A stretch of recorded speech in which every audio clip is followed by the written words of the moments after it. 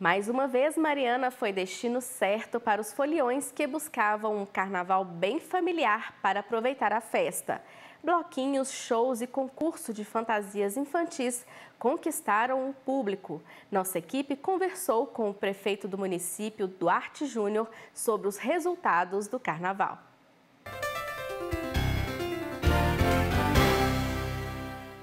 E no quesito carnaval, Mariana ganhou nota 10. E agora nós vamos saber tudo o que aconteceu aqui com o prefeito Duarte Júnior. Prefeito, tudo bem? Tudo correu tranquilo? Foi dentro do esperado? Conta pra gente. Muito bom estar aqui com vocês, falando com a Top. Olha, o balanço é super positivo, né? A gente precisa, antes de tudo, agradecer a todas as pessoas que trabalharam para organizar um carnaval.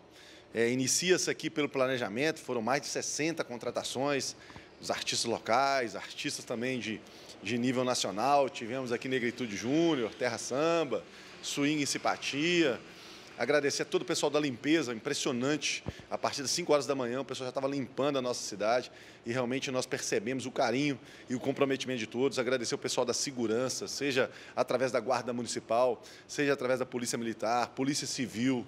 É, agradecer a toda a equipe que puxou os blocos, que fez a apresentação nos palcos. Agradecer o Efraim como secretário pela sua dedicação, a toda a sua equipe. Então, o carnaval deu certo, mas ele deu certo porque tinha muita gente comprometida, muita gente trabalhando nesses dias para que os foliões pudessem aproveitar ao máximo essa cidade linda que chama Mariana. E a estimativa de público foi bem alta, né, para esse ano. E a gente percebeu também que os bloquinhos estavam lotados. Atendeu todo mundo? É, foi muito bacana, porque a gente ficou naquela ansiedade: será que a praça fechada vai diminuir o público de Mariana? Isso não aconteceu.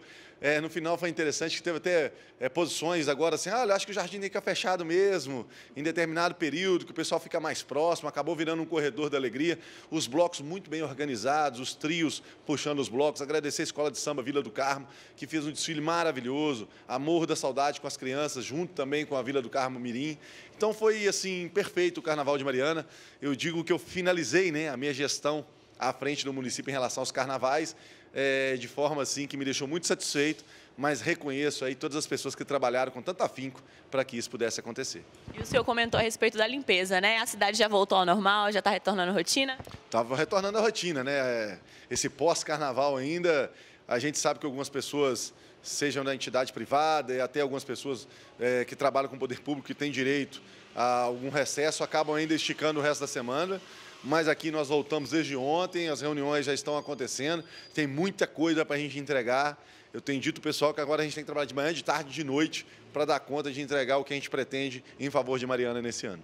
E só para finalizar, agora a gente quer saber do senhor, pulou muito carnaval? Eu não consigo, porque eu fico tão ansioso, né? E a gente fazia reuniões todos os dias às 14 horas, né? Então você fica muito ansioso para que dê tudo certo, que as pessoas se sintam bem, que nós possamos, como poder público, dar todo o suporte necessário. Então, é muita coisa que envolve. Então, você fica é, é um pouco é, inseguro em relação a, a, ao carnaval, porque você torce para que dê tudo certo. Então, eu acabei mais ficando na retaguarda, no apoio, junto com o nosso pessoal. E a, e a minha alegria era tentar dormir mais cedo, para levantar cedo, para ligar para alguém e falar assim: a noite foi tranquila, correu tudo bem? E graças a Deus as informações sempre eram maravilhosas. É, foi assim um carnaval super tranquilo. E a gente tem a consciência aí que Mariana foi, sem dúvida alguma, um dos carnavais mais seguros do Brasil. Prefeito, outra perguntinha, só para a gente finalizar de fato agora, como que funcionou a questão da divisão das equipes, assim, como que foi o trabalho de equipe aqui da Prefeitura? Olha, a gente, como eu te disse, a gente primeiro faz esse planejamento, né, então é, inicia-se 60 dias antes, com planejamento, contratação, olhar a documentação, então tudo se inicia pelo planejamento. Posterior a isso que as contratações estavam organizadas, nós nos reunimos para definir as equipes. Então, nós tínhamos a equipe de, de, segurança privada, tinha a guarda municipal, que tinha a sua responsabilidade, a capitã Marta acompanhava também e explicava é, quais os locais que era necessário ter um acompanhamento mais de perto, a polícia civil muito atenta através do doutor Cristiano, e também a equipe de limpeza. Então, nós, por exemplo, mudamos o horário, a limpeza começava às 5 horas da manhã, tinha folião na rua, nosso pessoal já estava na limpeza. Então, tudo isso era muito bem organizado e todos os dias, durante o carnaval, a gente reunia às 14 horas para ajustar. Olha, isso precisa ser melhorado.